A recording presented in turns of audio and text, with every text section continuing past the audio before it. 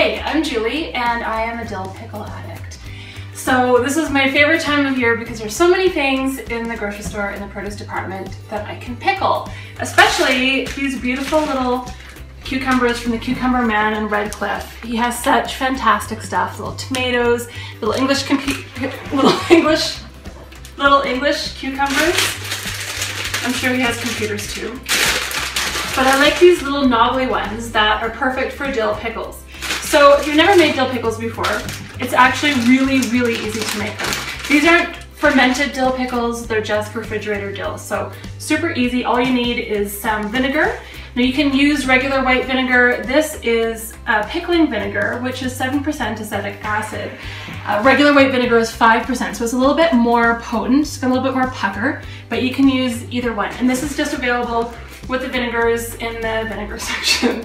Uh, some coarse salt, and then whatever seasoning spices you want to do. Um, garlic, always a good idea.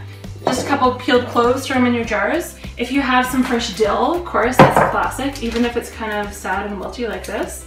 Um, pickling spices, you can add just a, a, few to each jar if you like to. Now these are sour pickles, so they're not, um, there's no sugar in them. Just the vinegar and water. Okay, so Take your dill, take your garlic, put it into your jars. These are just fresh from the dishwasher, so nice and clean, still a little bit warm. And then what you wanna do is take your cucumbers, make sure that they're still nice and snappy. They're not bendy. If they're bendy, you're gonna have sort of rubbery pickles. Uh, make sure you wash them, maybe I'll go wash them. And cut. Okay, so starting with your bigger ones, actually, you know what, the really big ones I'm gonna cut into spears. But starting with your, your bigger ones, if you wanna do whole dills, just pack them as tightly into the jars as you can. And if you finish with the small ones, you can kind of tuck the small ones into the, into the empty spaces. They're gonna shrink a little bit so you can really pack them in there. There we go. So there's one. The other ones I'm gonna do as spears. So just cut them into quarters lengthwise. And then if you keep them together, when you put them in, they'll stay a little bit more crunchy.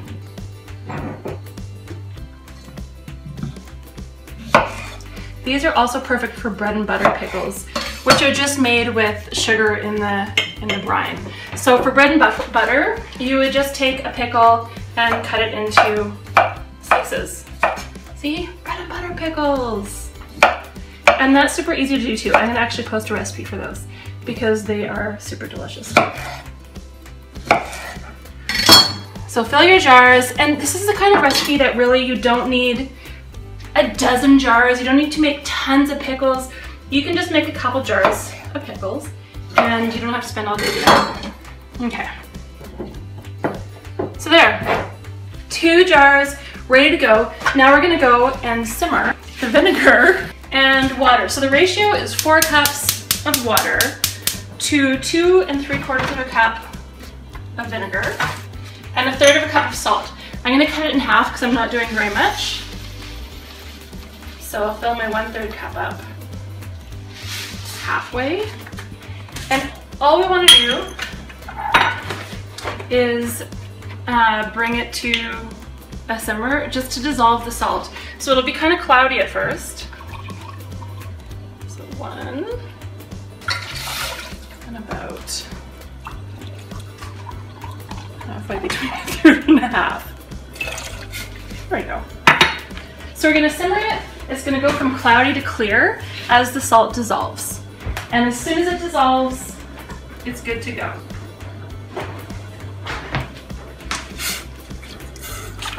See it's cloudy? Make a vortex, a vinegar vortex. Look, it's only been two minutes and we're already halfway done our batch of pickles. This is also super fun to do with kids, by the way. If, uh, if you have little kids around, they love to stuff the cucumbers and the dill and the garlic into the jars while you simmer. Here.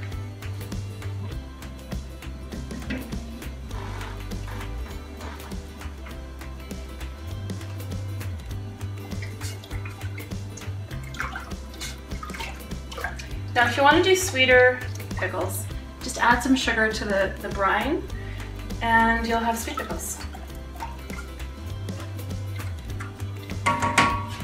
Okay. Salt is pretty much dissolved already. Because it's coarse, you can see it sort of settling in the bottom. But look, oh, a little tiny bit in there. Ta-da! See that took like a minute? All right, a little bit more. Get a towel. And then all you need to do is pour it over your pickles. You wanna leave about a half a teaspoon, half an inch. You wanna leave about a half an inch of headspace at the top. And then, if you want to process them for longer storage and keep them on your shelf, don't those look pretty? You can process them by sealing them up and processing them in a hot water bath. So in a hot water canner, uh, covered with water, you want the water to cover the jars by about an inch, and process them for 10 minutes, exactly 10 minutes. You don't wanna go over, otherwise the pickles will start to cook and they're gonna get kind of rubbery and bendy. So you can process them for longer storage for about 10 minutes, then cool them and you can keep them on your shelf. Otherwise, put them in your fridge Try not to open them for at least a week, but uh, if you can wait three or four, even better. And look, you made dill pickles. You're so awesome. Happy day.